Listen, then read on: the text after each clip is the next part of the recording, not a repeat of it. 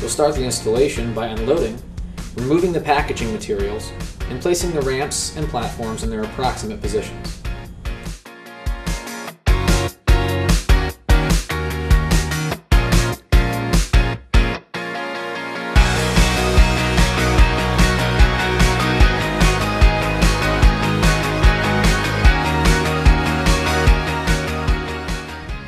With the components upside down. This is necessary to install the brackets that connect ramp sections one to another, as well as brackets required to attach the handrails later.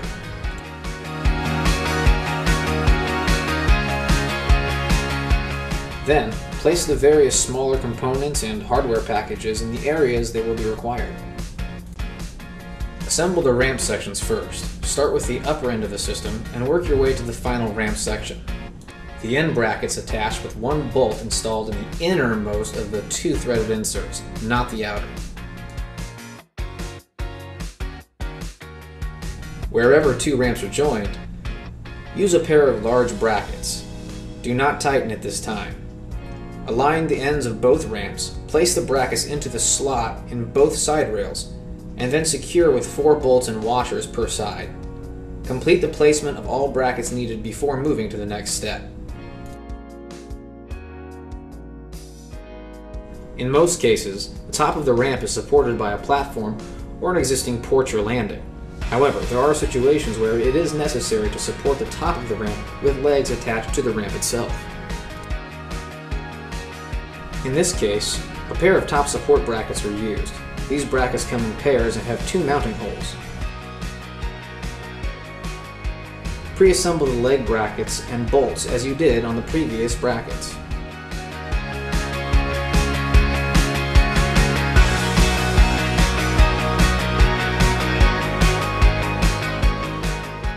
Tighten these bolts completely.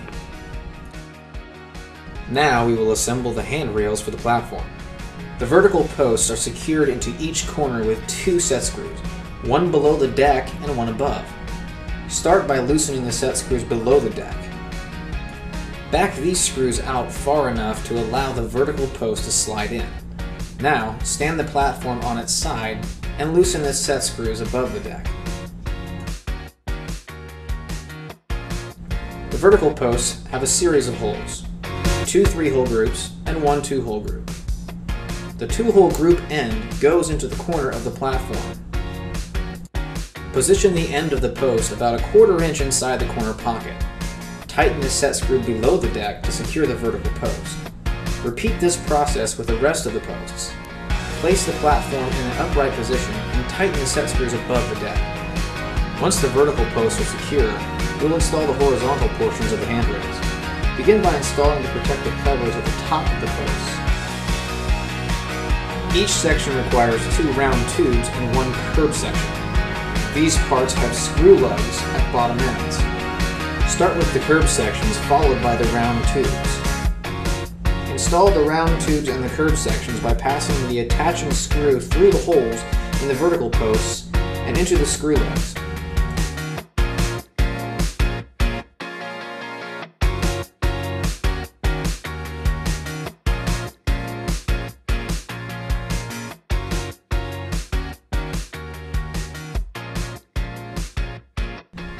The screws started before final tightening. Do not over tighten.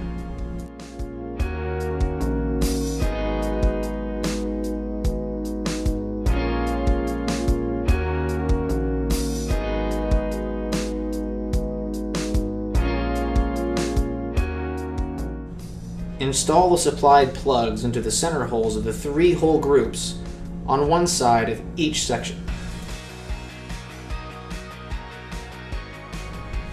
Save time later, it's helpful to install the protective plugs into all the support legs for the whole system at this point. There are two set screws on each outside corner of the platform. Move each platform into position by measuring out the length of each ramp section and setting the platforms at the end of those measurements. In this case, the first component of the system is a ramp running off of the porch to a platform. So, we will begin measuring from there and determine where the first platform will need to be. Once the platform is placed, insert support legs into each corner of the platform. In some cases, the platform will need to be set at a height lower than the standard foot will allow. The platform with a standard foot is limited to the minimum height of 6 inches. A low profile foot is available for use when the rise is less than 6 inches, but over 3 and 3 quarter inches. One corner at a time, lift the platform to the approximate height and insert the leg into the foot. Make sure the leg is completely bottomed into the foot and tighten one of the set screws in the corner pocket. Now we can adjust the platform to its final height. Use your laser level to set one corner of the platform at its final height. Once this height is set, tighten both screws on that corner. Place a long level on the platform, setting one corner to the proper height. Then use the level to adjust the height of the other corner the same level as the corner already at the correct height. Tighten both screws in this corner. Tighten the thumb screw on the foot to secure the foot to the leg. Now we'll set the first ramp section that runs from the porch to the first platform. This ramp will hang from two ramp hangers on the platform. These hangers engage the side rail of the platform. Once the ramp is resting on the hangers, slide both ramp hangers until they are against the ramp side rails. You want both hangers to be as far as possible for greater stability and safety. Now we will join the next two ramp sections together to form another ramp run by simply repeating the same steps we used on the first ramp run of this system. Repeat this process as needed.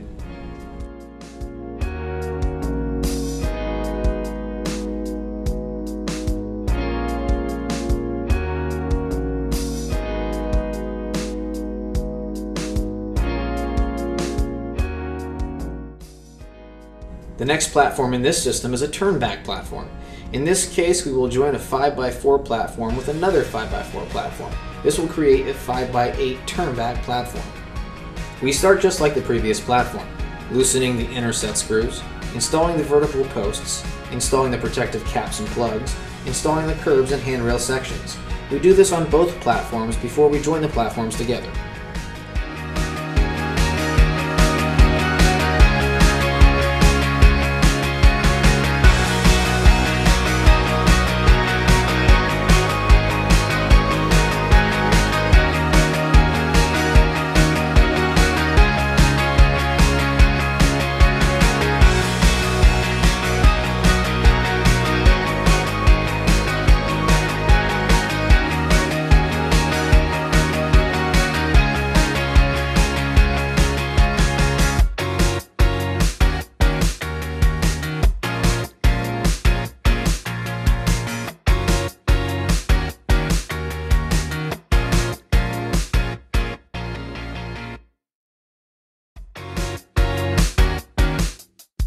The foot can be installed in different positions as needed.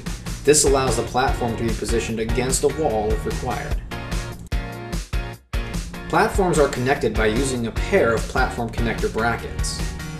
These work by connecting a full-length support leg on one platform to a shorter leg on the other platform. Place these connector brackets onto the legs on the side that will be joined with the other platform. Leave them loose and finish setting and leveling the platform.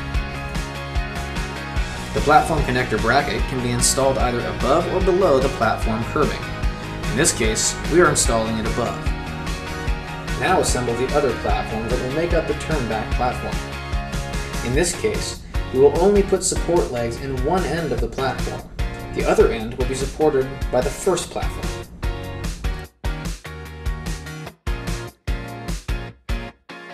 Now we can connect the two platforms. Slide the connector bracket up so it contacts the platform corner pocket.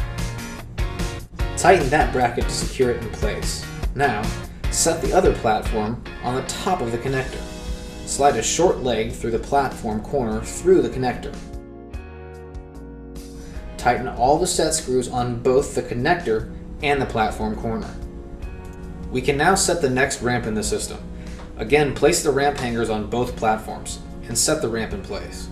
Unless otherwise stated in the supplied layout, it is very important that none of the ramps in any system exceed the 1 in 12 ADA rule. Now that we've ensured that our ramp runs are ADA compliant, we can set the last ramp run on the turnback platform using the ramp hangers. At the lower end of the system, where the ramp meets the ground, we install a ground transition ramp. This ramp is made up of two sections. The first section engages the end of the ramp. The second section engages the first section and is held in place by two screws which are driven into the rounded connections on each side. The second section of the ground transition ramp has two pre-punched holes used to secure the bottom to a wood or concrete surface as needed. Now that the ramps and platforms are set in place, we will install the support leg. Slide the support leg through the support leg bracket and into a foot. Make sure that the leg is vertical, then secure the bracket in place.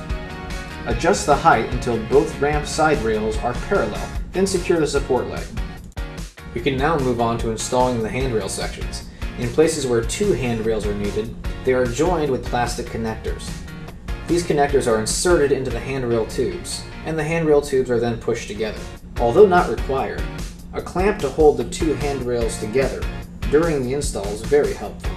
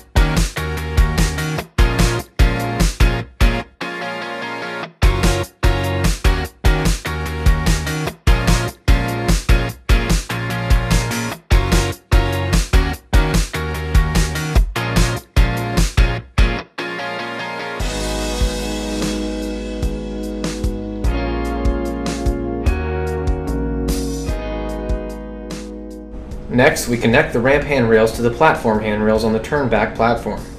Insert the elbows into the ends of the handrails and adjust the elbows so they align with one another. Measure the space between the two elbows and cut a section of tube to fit between those two elbows. Now remove the screw that holds the elbow halves together. Place the elbow halves into the handrail tubes and the cut tube. Tighten the inner screw on each elbow half. This will secure the elbow to the tube. Once this is done, the elbow and the tubes can be reassembled into position.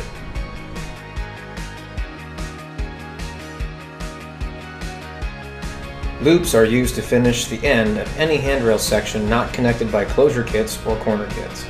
Slide both joiners into the handrail tubes, with the set screw on the joiner facing down. Slide the loop over the joiners, secure by tightening the set screw in each joiner. Another style of loop has swaged ends and does not require joiners. Slide the loop into the handrail. Use a rubber mallet to be sure the loop is fully seated. Secure with two self-tapping screws from below. Install protective caps on all exposed ramp side rails. Glue is supplied for this. The last task is to install two hold-down clips on the end of every ramp that connects to a platform. This is an important safety requirement and prevents the ramp from being lifted off the hanger brackets. Use the supplied self-tapping screws to clamp these clips in place. Upon the completion of your ramp installation, make sure that all cardboard boxes, plastic bags, and other debris are collected and placed in your truck or trailer.